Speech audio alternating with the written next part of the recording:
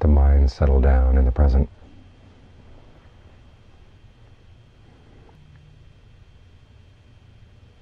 And sometimes you can use the word let, let the mind do this. Other times you have to force it. Because there are times when the mind is not willing to settle down. It's got all kinds of other issues to think about, all other kinds of other agendas. And now it's got a whole hour where it can think about those things.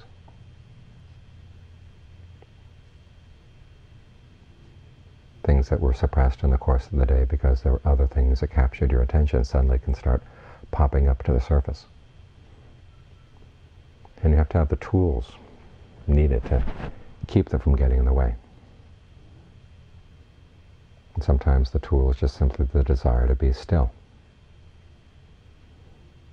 For example, when the mind is tired, it really wants to rest.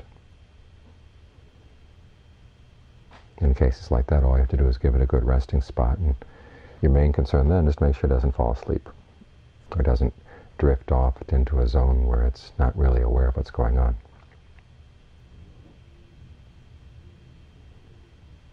If the body's tired, okay, do some good deep in and out breathing.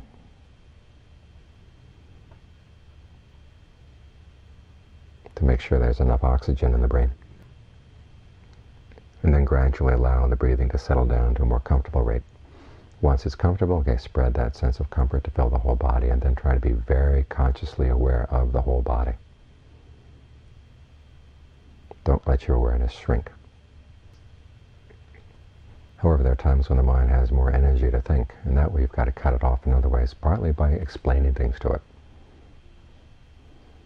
Having values that will cut off the thoughts. All too often our values go in the other direction, encourage thinking especially the idea that we have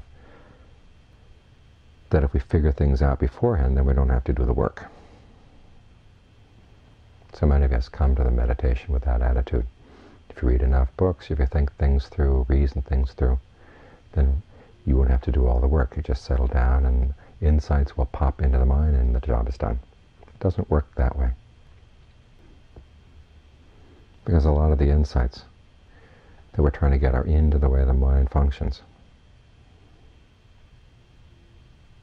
And you can't really see the functioning of the mind until you wrestle with it.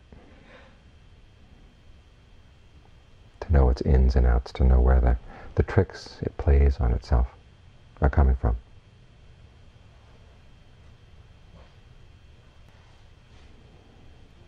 And you have to have some good retorts. Sometimes conversation or an argument that goes on in the mind. Part of the mind wants to think about this, think about that. Well, you've got to argue with it. Give good reasons for not going there. Remind yourself that knowledge isn't something, at least the knowledge we're looking for in the meditation, isn't something that comes from thinking things through. And John Sawat had a good line on this. He said, it's like darkness.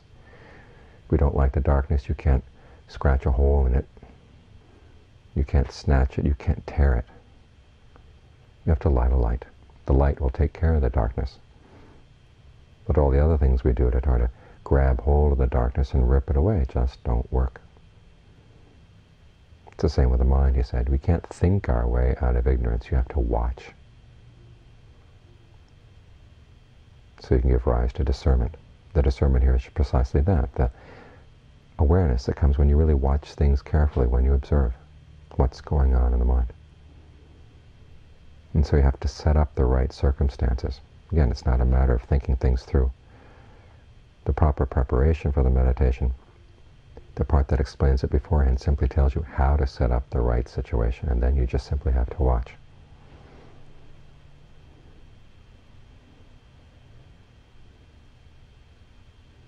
A good analogy is with a hunter. The hunter does what he can to prepare to go out hunting get all of his weapons in the right order.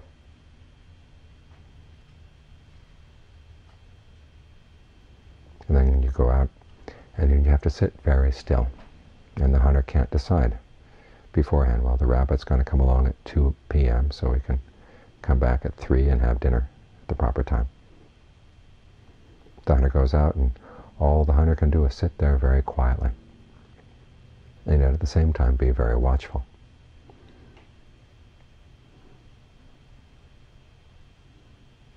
And then whether the rabbit comes at noon or 2 or 4, or if it doesn't come that day, the hunter still has to be very watchful all the time. Can't let his attention slip, can't make a noise. And it's nothing that he can figure out beforehand. Can't, through the force of his will, make the rabbit come at a particular time or in a particular place.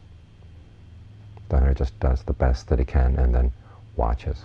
And it's the same with a meditation. You get the mind as still as you can, and then you have to watch. If you're going to get any really new insights into what's going on. Actually, as meditators, we're better off than hunters because the mind is constantly sending out little signals. It's constantly dealing with this, dealing with that, making this choice, making that choice. The problem is we, we're not still enough. We're not attentive enough.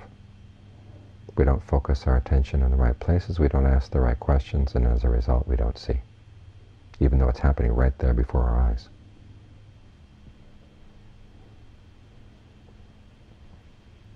So we have to be very, very careful, very, very still. And then ask the right questions. The Buddha gives instructions on this are questions that surround the Four Noble Truths. Where is there stress? Where is there craving? When is mindfulness present? When is it absent? Can you see these things? When it's present, how can you keep it going? When it's absent, how can you give rise to it?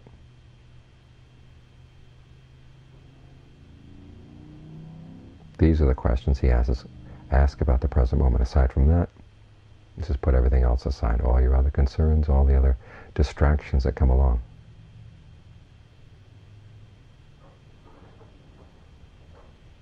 And focus on the real issue at hand, which is how to deal with suffering, how to deal with stress.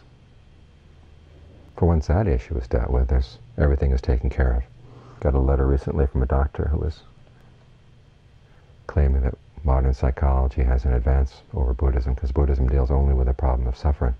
But modern psychology deals with suffering and it also gives meaning to life. I think he understands the depth of the problem of suffering. Once you really eradicate suffering, okay, what remains to your life, the meaning of what you want to do, okay, it's very clear. And it will vary from person to person. But the big issue that everybody has is digging out the roots of suffering. Once those roots are dug out, then the question of meaning is not really a problem. Why does the question of meaning bother us? Okay, there must be some suffering, there must be some stress surrounding it. We look into it.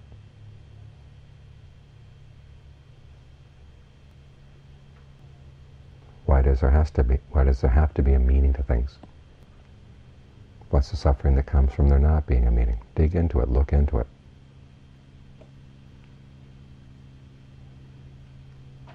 And if that's too abstract or too subtle, we'll focus on where you do see the suffering, where you do see the craving.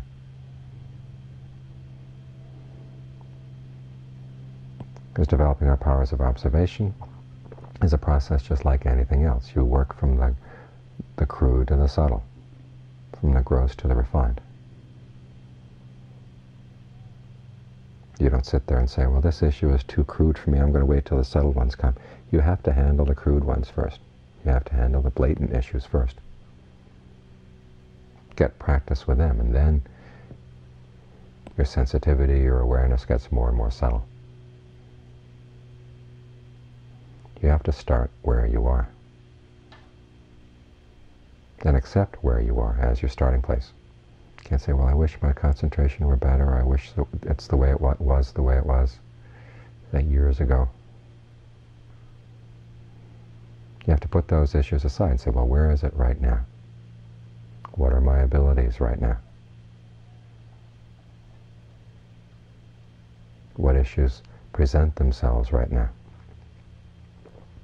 If you get used to handling what's here right now, you're focused on the right spot. You're developing the habits you need.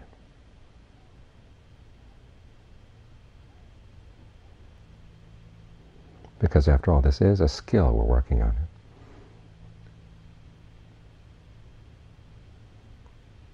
It's not an intellectual puzzle where you can just think things through. Skills require dedication. They require time. They require commitment.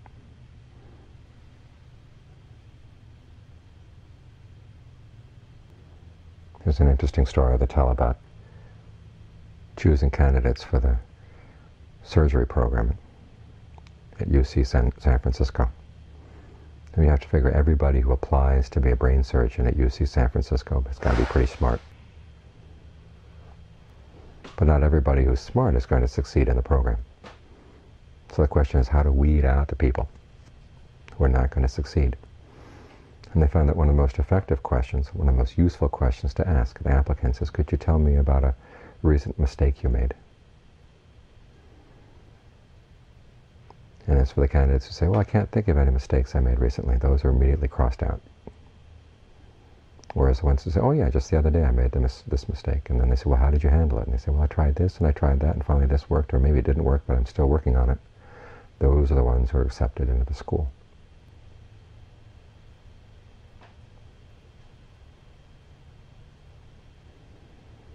It's not the people who have everything figured out all beforehand who are going to succeed. It's the ones who keep learning all along the way.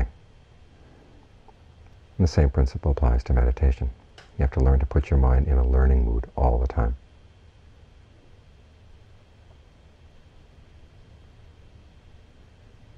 Because it's only then that you'll see the things that you didn't see before. That will light the light that drives away the darkness of ignorance.